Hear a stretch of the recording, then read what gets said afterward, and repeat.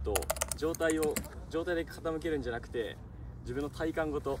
うやって預けるぐらい。預けてこうやって走るようなイメージで、えっと、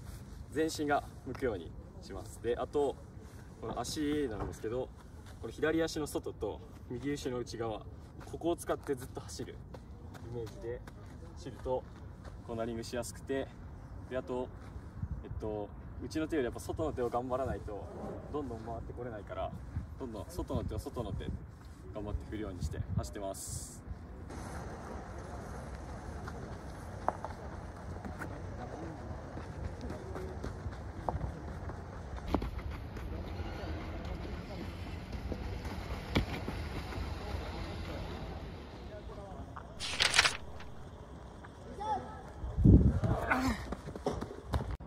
えっと、これは円からスタートしてまっすぐ抜けていくっていうコーナリングで、まあ、この円のとこは全然ゆっくりでよくて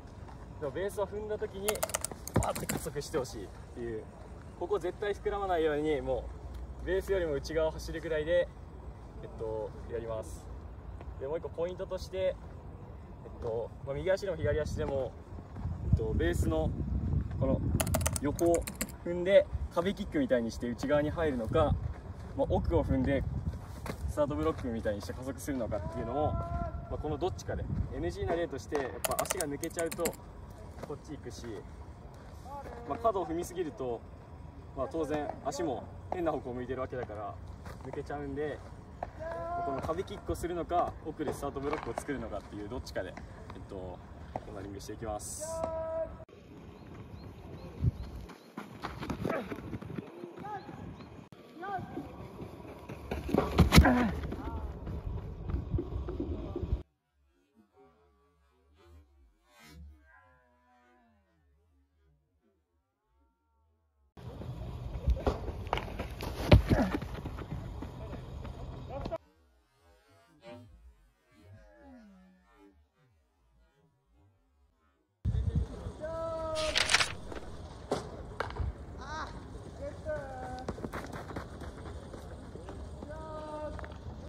このコーナリングは、まあ、少し後ろからスタートしてこの白いコーンくらいからもう体を倒し始めて、えっと、ベースに入ってくるとことをしてほしいんで、えっと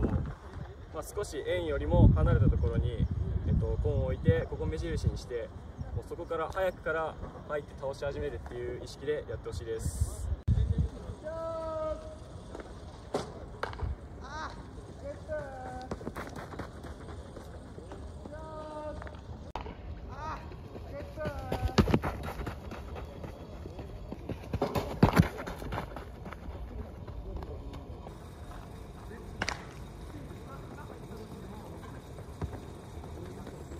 今井選手、本日は、えー走塁の講義ありがとうございました。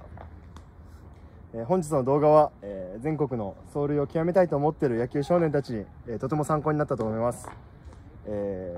今後、え走塁を極めたいと思っている全国の野球陣に一言お願いします。はい、えー走塁は足の速い遅い関係なく、まあ、誰もできるもので、えっと、その一つで流れを変えれるものです、えーぜひ全国の皆さん、え走塁で流れを変える一人になってください